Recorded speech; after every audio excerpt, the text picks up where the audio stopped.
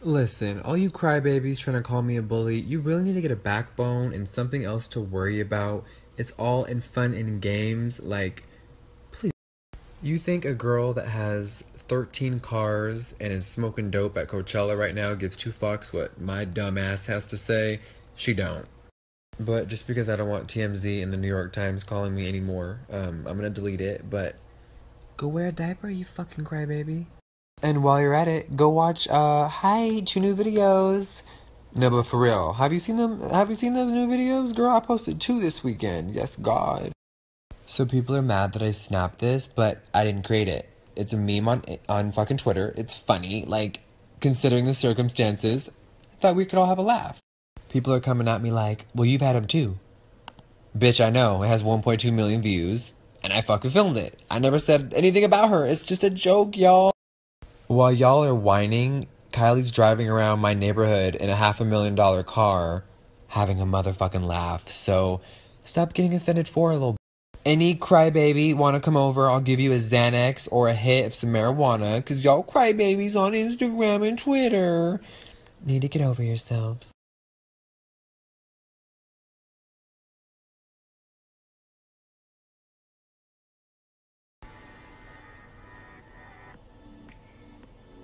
My Twitter, my Twitter fam is going hard tonight. Yes, thank you, Angel, and hi, sweetheart. Girl, come over. I got you on lock. Any crybaby want to come over? I'll give you a Xanax or a hit of some marijuana, cause y'all crybabies on Instagram and Twitter need to get over yourselves.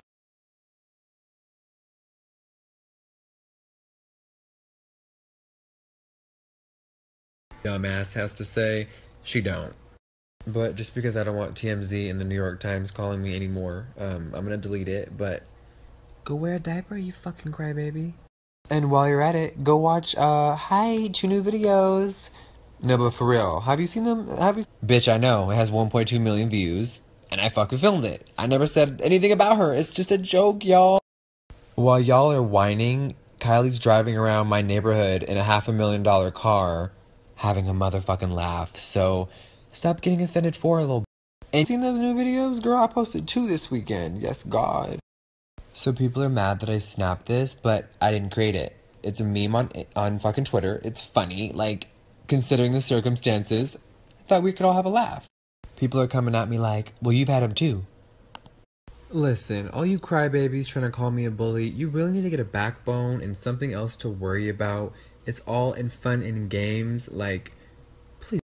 You think a girl that has 13 cars and is smoking dope at Coachella right now gives two fucks what my